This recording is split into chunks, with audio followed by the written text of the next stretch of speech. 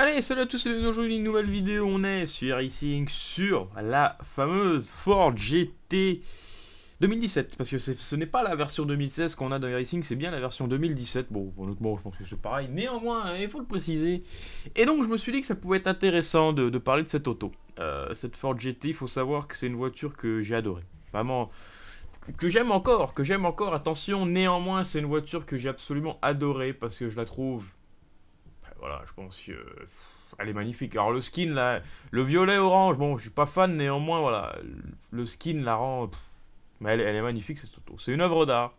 C'est un bijou. Euh, une voiture en avance sur son temps niveau aérodynamique. Je pense que cette voiture, euh, c'est une hypercar. Tout simplement, c'est une hypercar. Euh, comparé à une Ferrari GTE ou même une RSR, on a l'impression que c'est un prototype. Et c'est le cas. Et c'est le cas. C'est une voiture qui a gagné Le Mans dès sa première participation et qui malheureusement, à cause de ce qui est venu, de ce qui est devenu malheureusement le GT et pas que, et pas que. Euh, à force de millions pour avoir des bonnes BOP, bah, c'est une voiture qui finalement aura gagné qu'une fois. Alors que je pense qu'elle aurait mérité de gagner euh, bah, les quatre fois où elle a participé. C'est, je pense, ce qui a fait que Ford a mis fin à son programme. Euh, parce que, effectivement, la BOP joue un rôle trop important et c'est ça qui fait peur dans cette nouvelle catégorie hypercar. On nous dit qu'il va y avoir une BOP, oui, mais bon, si une Glycemos est plus rapide qu'une Porsche, ça sera quand même suspect. Néanmoins, nous, on va se concentrer sur cette voiture et parler uniquement de cette voiture. On va tout de suite aller sur la piste, on est forcément sur le circuit du Mans. Et on va parler un petit peu de cette auto. Alors, c'est pas vraiment un test. Pourquoi? Parce que c'est une voiture que j'ai testée, j'ai roulé des, des, heures et des heures et des heures et des heures. C'est une voiture qui, je pense, reflète ce qui est devenu racing. Ce qui est devenu racing à haut niveau l'entends bien, qui est devenu racing à haut niveau, c'est-à-dire bah, une voiture qui, est... qui a jamais été nulle, qui a toujours été compliquée à conduire, et qui a rebuté beaucoup de gens. Parce qu'elle était compliquée, parce qu'elle a un train arrière qui bouge, parce qu'effectivement, euh, beaucoup de fois, elle était en retrait au niveau des... de la vitesse de pointe. Et du coup, bah, les gens se sont dit, bon bah, c'est une voiture qui malheureusement, en plus d'être compliquée et pas forcément tout le temps rapide, bon bah, on va, on va la laisser de côté.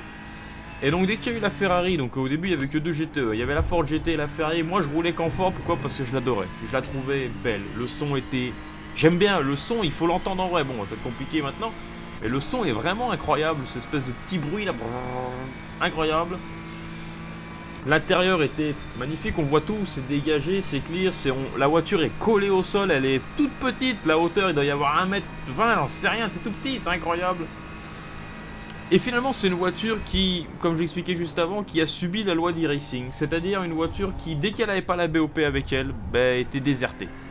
Même encore aujourd'hui, hein. rappelez-vous en début d'année, c'était la Ford Cup, je sais plus quelle saison, peut-être la saison 2 d'e-racing, où cette Ford est devenue rapide. Incroyable sur les freins. Euh, aucun trail du train arrière. Une vitesse de pointe hallucinante.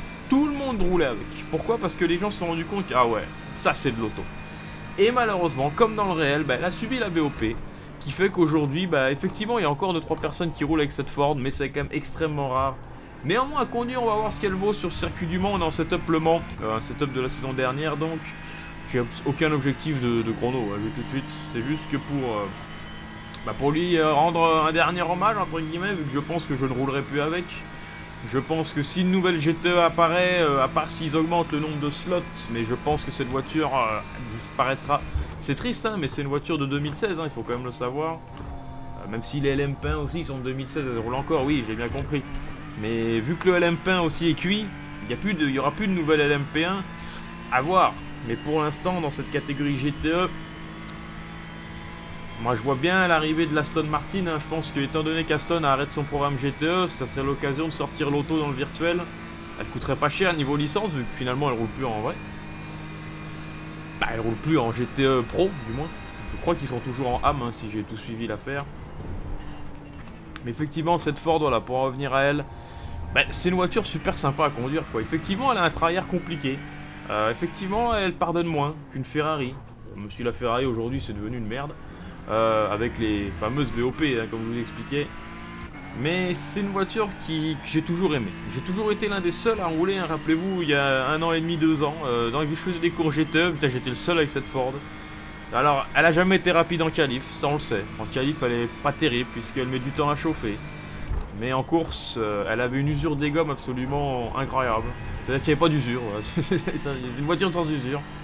Donc tu pouvais enchaîner des relais, des relais, des relais, des relais. Tu avais toujours l'avantage.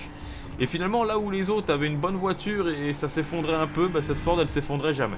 C'était une voiture d'endurance. C'était une voiture d'endurance. Là où la Ferrari, la Porsche, peut-être la BM, je sais rien, et la Corvette, je sais pas trop non plus, sont des voitures un petit peu plus de sprint.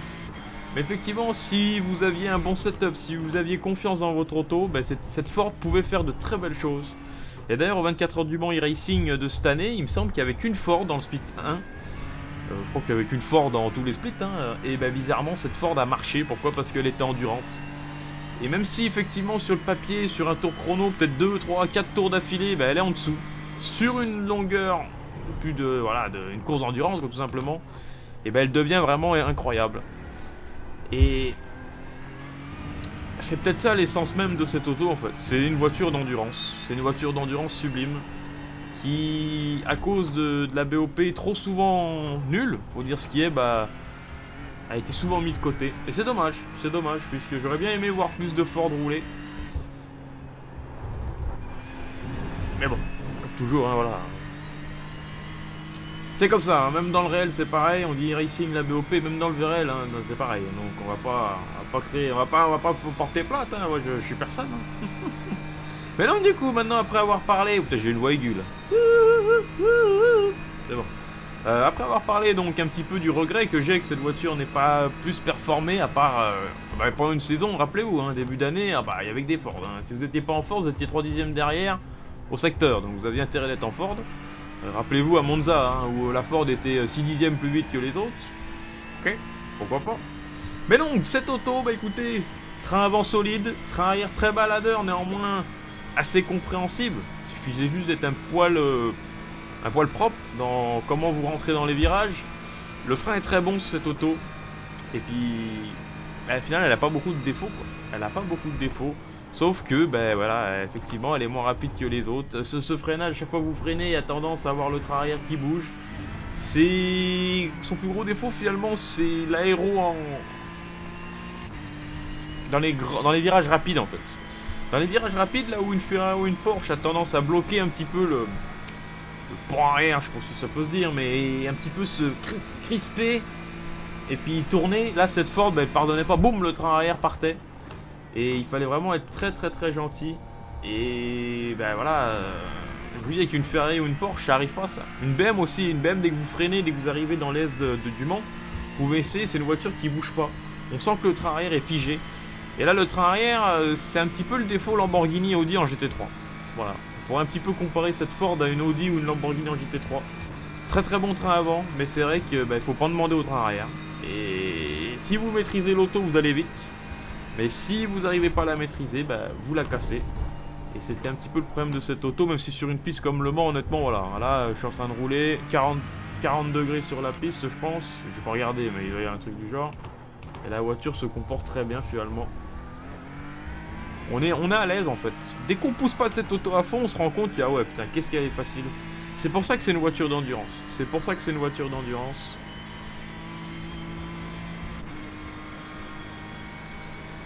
là, on va arriver dans les S.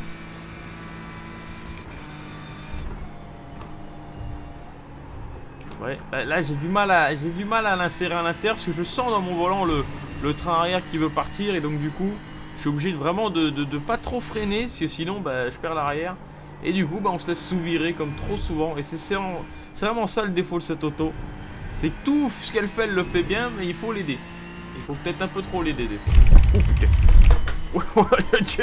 ah oui, ah non. J'ai voulu mettre mon FFB en auto quelqu'un, mauvaise idée. Oh. Oula, mauvaise idée les gars. FFB en auto, non. Oh putain, je me suis arraché un bras. D'accord, donc FFB en auto, ne faites pas ça si vous avez un direct drive. Oh bah disons, c'est dangereux. C'est dangereux, e-racing. j'ai la main. Beaucoup ont dû trembler et sursauter. Allez, donc on est parti sur un tour rapide cette fois-ci. Maintenant, on a bien fait chauffer les gommes. Allez, là, on prend de l'angle, on arrive gestion du frein. Freinage, on va rentrer en deuxième avec beaucoup de vibreurs intérieurs. Ici, pareil, pour faire le moins de distance possible. Pas trop sur l'extérieur, hein, sinon c'est off-track. Ici, on va plonger à gauche pour plonger dans le virage à droite. Dès qu'on arrive au niveau du dernier cône, boum, freinage en ligne droite, on rentre en troisième dans le virage, gestion à l'entrée. Normalement, dès qu'on sort du gauche, le droite, ça passe à fond. Petit peu de travail au volant, mais j'ai envie de dire, c'est normal. Ici, freinage avec les roues bien droites, on descend la 3, on rentre avec de la vitesse, léger contre-braquage en sortie, mais ça va dans l'ensemble. Et là, on est parti pour la ligne droite des Unodières. On amène de la vitesse, hein. on va quasiment arriver à 300 km/h en bout de ligne droite. Ça sert à rien de taper dans les tours avec cette auto, va aller mieux taper au rouge en fait. Normalement, on va atteindre les 300 km/h en bout de ligne droite. On est à 296. 300. on a eu 300 et on a vraiment eu 300, mais un, millième de seconde. J'espère que vous l'avez vu le, numéro parce que vraiment 300 euh, et on a freiné. Je vous ai dit qu'on allait arriver à 300, on y est arrivé. J'ai testé la BMM 8, euh, je montais à 300 aussi. Donc euh, niveau vitesse de pointe sur le Mans avec les setups Apex, toutes les voitures ont la même Vmax quasiment. À 1 km h près, elles ont toutes la, même Vmax. Donc ça, c'est intéressant.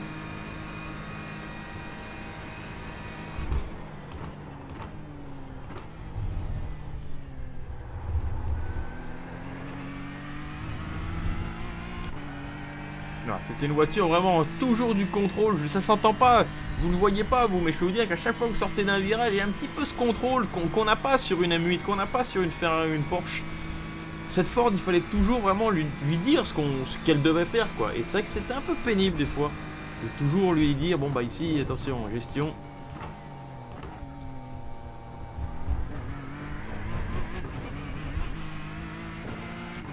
Voilà, on, est, on a freiné un peu tôt.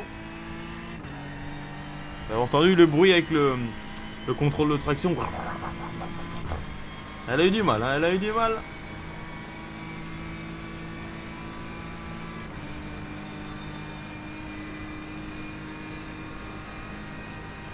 Et ce circuit du Mans quand même, qu'est-ce qu'il est,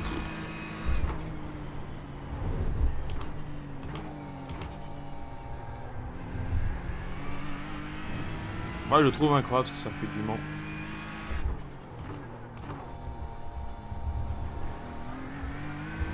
Alors ils ont pris un peu trop de vitesse ces, GTE quand même. Parce que là on est sur un optimal de 3.48, 3.48.5. Euh, c'est... Euh, c'est même pas les chronos qu'ils faisaient en qualif. Donc c'est à ces alentours qu'ils faisaient un chrono en qualif, je crois 3.48 et quelques. Alors que là on a le plein. Donc euh, on voit un peu vite dans les racing les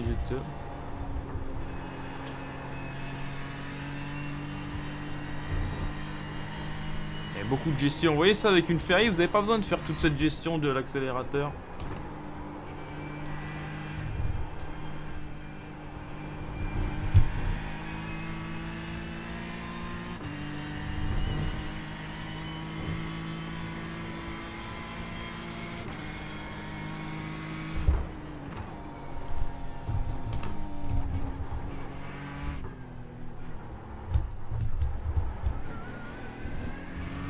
Finalement, quel plaisir à conduire. Voilà, 3.47.6, il y a moins d'aller plus vite, bien évidemment. Mais c'est un bonheur à conduire cette auto, vraiment. Je, regrette qu'elle soit... Qu'elle soit finalement difficile à conduire, parce que... Et surtout qu'elle soit pas aussi performante qu'elle devrait l'être, parce que finalement, voilà, c'est une voiture extraordinaire. Mais comme je vous ai dit, moi je déteste changer de voiture en cours de saison. Euh, dès qu'il y a eu la période Ford Cup, euh, ça m'énervait un peu, parce que tous les gens étaient en Ford, et puis bizarrement, bah, dès qu'elle a été nulle, ils sont tous repartis très vite. Et voilà. C'est un peu énervant. Mais encore une fois, c'est la politique de la BOP. C'est ce qui fait que les courses de GT fonctionnent énormément dans le réel et dans le virtuel. Parce que finalement, chaque voiture peut gagner. Et même si elle ne gagne pas en début d'année, bah, elle gagnera en fin d'année. Et donc du coup, c'est pour ça que cette catégorie GT marche. Et je pense que c'est surtout l'avenir de la course automobile.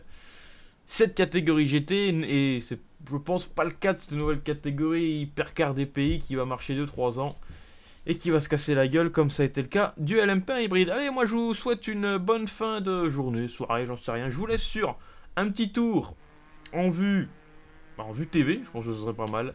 Et je vous dis à la prochaine. Ciao ciao over the night.